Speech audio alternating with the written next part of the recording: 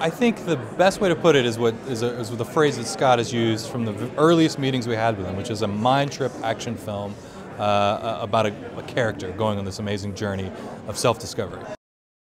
It's amazing because you know we shot the film here, so it feels surreal to be back here, and to be here it feels extra surreal. But the full circle aspect of coming back, uh, seeing some members of the crew is amazing. And by coincidence, our hotel where we're staying is literally on the street of the, where the opening of the movie takes place. So it's just a lot of lot of surrealness to go along with the theme of the film, I guess.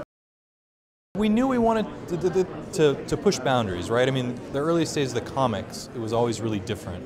And Steve Ditko was an amazing artist who pushed visual boundaries. And we knew that if we were going to pull this movie off, we had to take risks, we had to do bold things with the action, with, with the, uh, the take on magic, because, uh, you know, it needs to stand apart. It needs to stand apart from not just movies in the Marvel Cinematic Universe, but movies about magic, action movies. You know, we're competing against all of that uh, in terms of, of, of, showing an audience something very new. So that went into every every thought we had about what we were going to put on screen with magic, with these visuals. It's cool. It, it, it magic is going to come crashing into the MCU in a big way, uh, which is kind of exciting. And a lot of people are asking me, you know, what does this mean now? Magic is in the MCU in this in what has felt like a really grounded, uh, earthbound place. And we're like, yeah, exactly. I mean, that's kind of that's kind of the point. I mean, we don't we aren't necessarily sure all the ways it's going to work together or crash together, but that's exciting. We, we love the opportunities of those challenges, and we love making the choices in the moment for the best uh, the best things to do in each individual film, and then letting the stories tell us where to go from there. And I think magic is an amazing uh, card to be dealt into the deck. Yeah, Benedict owns his character. He's amazing. He, uh, uh, we'd be on set and there'd be close-ups with him half the time, and I had to pinch myself with how much he looked like the comic and how much he looked like uh, those images just walked right off on the screen. But as an actor, he's amazing. As, as he has the depth to go on a journey uh, that this character goes through.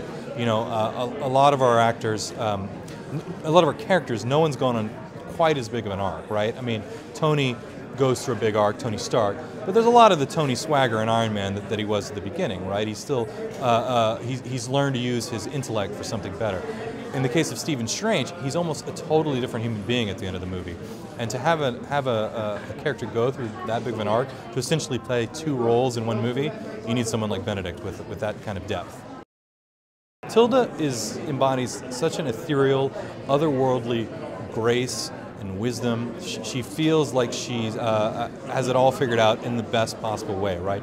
Um, and you need someone like that to bring this sort of uh, centuries-old wisdom to the screen. She just carries it when she's on the screen. And uh, she was one of the first people we talked about when we were putting this film together and that talking about that role. And the fact that she agreed to do it was, was amazing, and, and people are really enjoying her performance in the film.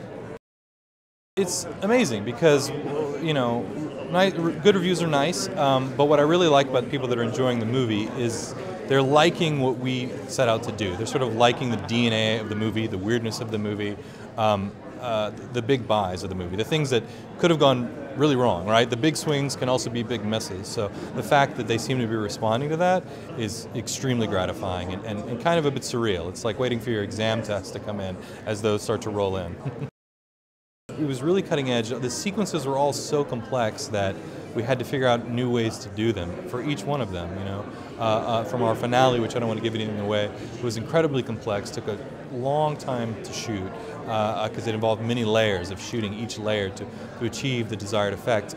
And with all of these sequences, we, we said we were going to do them, and then there was always that moment of like, okay, what does that mean? How are you going to, how are we actually going to pull it off? And luckily we had an amazing team of, of producers and visual effects uh, supervisors and, and stuntmen and uh, uh, production designers that are all so game to, to just sit down and figure it out and say, okay, how do we do the impossible on screen? How do we put magic on the screen and make it believable? Because Scott, uh, from the very beginning, said, if the magic doesn't feel real, if it doesn't feel like it's actually something happening in front of the lens of the camera, this whole movie is not going to work. So it was, it was a big challenge to do that. It's a movie about sorcerers, right? So, of course, they can travel over the world in an instant, and you really have to go to those places to uh, uh, put them on screen. I mean, you, you can't fake Kathmandu. You have to go to Kathmandu, and the audience can tell when you're in an actual place. Everything about it in every corner of the frame just feels so real and so tactile um, that it, it just infuses the movie with reality that is very hard to fake. So that was important to us, whether it was the streets of New York, the streets of Kathmandu, going to Hong Kong and finding the best streets there.